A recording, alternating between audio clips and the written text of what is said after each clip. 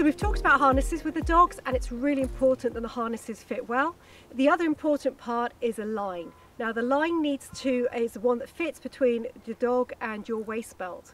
Um, and it's really important that the line has lots of bungee in it as well which acts as a really good shock absorber between you and the dog to make sure there's no injury issues.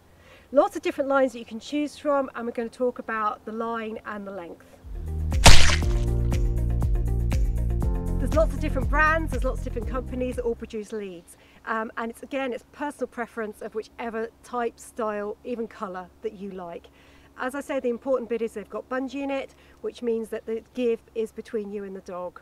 So we've got different styles here, again, different lengths of lines.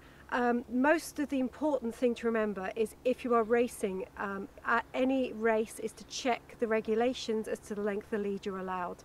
The majority say that they should no, be no longer than two metres when fully extended. And that certainly is the case if you're running at international or European events.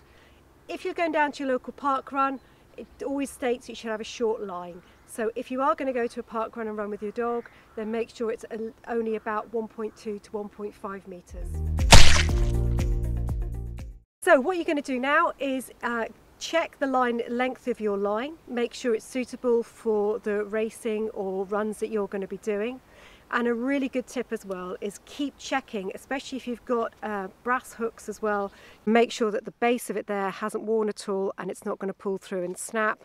Again, make sure with your carabiners that there are um, plenty of movement there, they're not worn in any way and that your gate is done up. Again, the last thing you need is for your dog to be running off.